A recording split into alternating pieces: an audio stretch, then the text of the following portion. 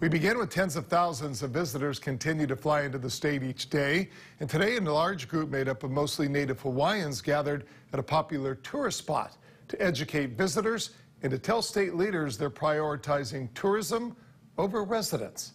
Here's Nikki Schenfeld with tonight's top story. Laniakea is a popular stop for many visitors to stop and look at turtles. Community members from across the island came out to educate, clean, and let drivers passing by know that these popular stops are sacred and they're being overrun and overwhelmed by tourists. The gridlock at Laniakea has been an issue on Oahu's North Shore for nearly two decades, and there is still no fix. In 2020, North Shore residents could drive freely between Waialua and Sunset without worrying about traffic. But the increase in tourism has put the issue in the spotlight once again, and videos of tourists harassing turtles have surfaced. Residents say officials aren't doing anything to address the mounting issues. Locals and Kanaka Maoli are being told to stop gathering. Our keiki sports are canceled, while luau's for hundreds of unmasked visitors are taking place every night.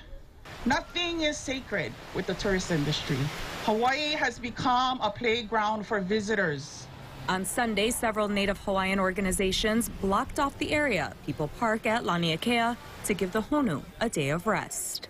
Education's not promoted at all and needs to be revisited on how to effectively educate the tourists as they come to visit us. The over-tourism is a real thing, and we're tired of being put second. North Shore residents plan their days around the traffic, while thousands of visitors visit the area daily. Some come in tour buses, which are not supposed to stop at Laniakea. Have the, the tour guides educate them while they're coming down on the tour buses. You know, they, we see a lot of the tour buses come here, they offload the people. It's clear that the tourists don't know what's going on. They go on the rocks, they fall. They also step on the rocks, which is the Honu's food, and kill all the limu. From signs, handouts, even draping lei to prevent tourists from crowding the area Honu rest, residents spent the day educating. We have a pledge that we're asking all tourists to take. It's a pledge asking visitors to Hawaii to please respect this place for the sake of our children. This is not a playground for them to do whatever it is they want to do. This is our home. The city said in a statement last week tour buses should not be stopping in areas where it is dangerous to use the highway.